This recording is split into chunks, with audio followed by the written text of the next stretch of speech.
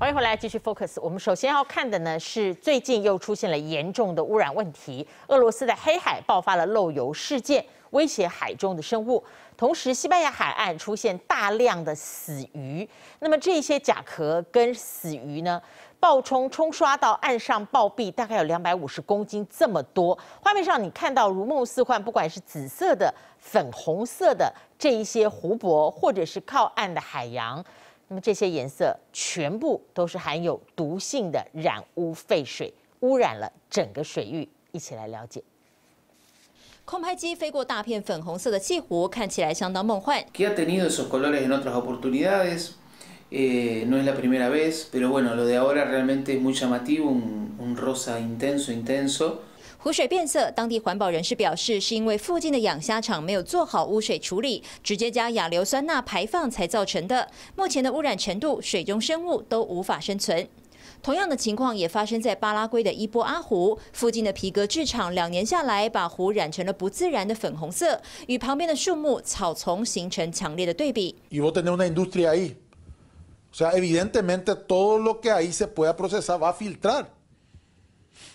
Y eso va directo al, al IPOA, no es que va a quedarse por el camino.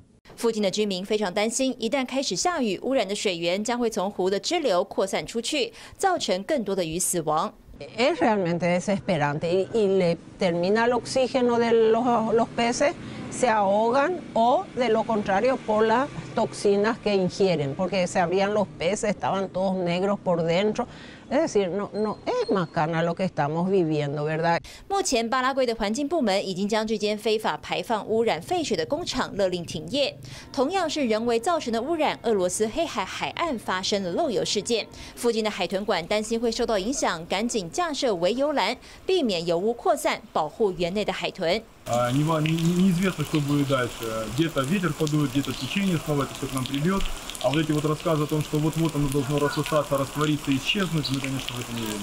俄罗斯政府公布漏油范围有两百平方公尺，并宣称水域污染情况都在安全范围内。但俄罗斯科学家研究卫星图，估计范围有八十平方公里，面积整整大了四万倍。世界自然基金会则估计有一百公吨的油倾倒。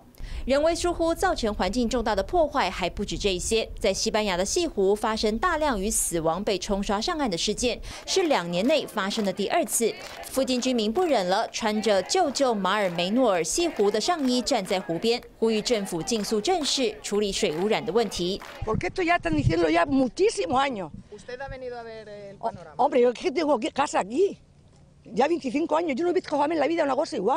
Y lo están advirtiendo, advirtiendo, advirtiendo. ¿Qué pasa? Que pues que ahora, pues mira lo que ha venido, 马尔梅诺尔西湖是欧洲最大的咸水湖，在二零一九年曾经发生过三吨的海洋生物因为缺氧大量死亡被冲刷上岸的事件，而今年又发生了两百五十公斤的幼鱼跟甲壳类同样因为缺氧死亡的案件。当地居民与环团已经向政府投诉多年，农业肥料非法排放造成湖水优氧化的情况却从未获得改善。政府甚至宣称水的容氧量会降低，是因为温度上升导致，但环境组织驳斥这样的说法。环境生态环环相扣，若不思考如何更友善的对待环境，恐怕将会后悔莫及。TVBS 新闻综合报道。